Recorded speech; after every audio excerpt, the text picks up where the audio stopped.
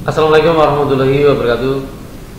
Oke, gimana kabar teman-teman semuanya? Semoga selalu dalam lindungan Allah SWT dan selalu diberi nikmat sehat. Oke, hari ini kita akan jalan-jalan lagi bersepedaan melihat lingkungan di sekitar kita, terutama yaitu desa-desa di sekitar Purworejo dan sekitarnya. Tetapi kali ini kita berkesempatan untuk melihat desa di wilayah Kabupaten Kebumen. Oke, selamat datang di desa Tunggal Roso, Kecamatan Perembun, Kabupaten Kebumen.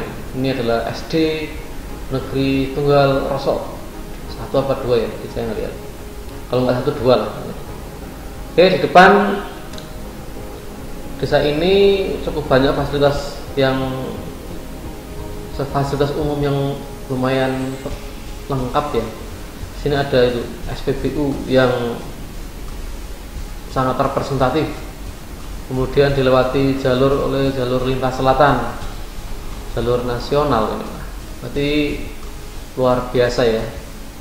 Enggak semua desa bisa dilewati oleh jalur nasional, jalan nasional.